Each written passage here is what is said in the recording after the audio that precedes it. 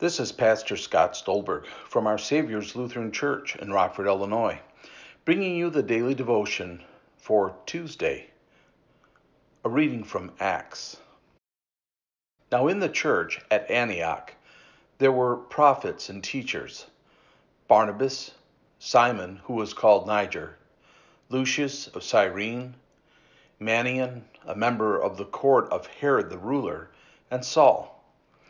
While they were worshiping the Lord and fasting, the Holy Spirit said, Set apart for me Barnabas and Saul for the work to which I have called them.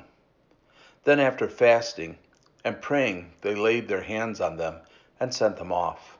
So, being sent out by the Holy Spirit, they went down to Seleucia, and from there they sailed to Cyprus. When they arrived at Salamis, they proclaimed the word of God in the synagogues of the Jews. And they had John also to assist them.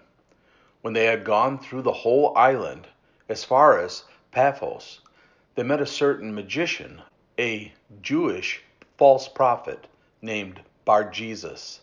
He was with the proconsul Sergius Paulus, an intelligent man, who summoned Barnabas and Saul and wanted to hear the word of God.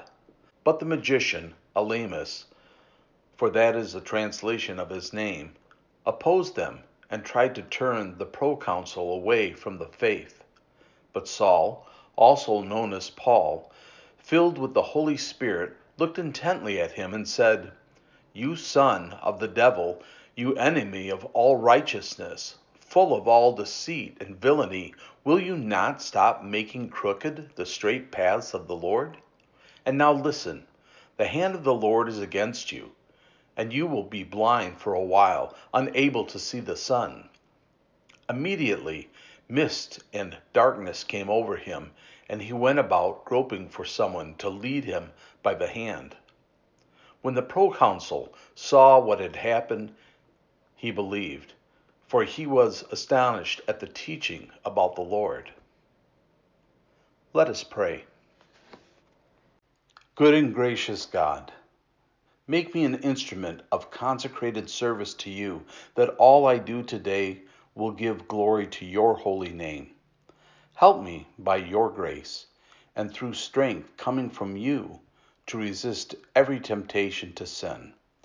Do not let me deny your name or ever be ashamed of you. In Jesus' name we pray. Amen.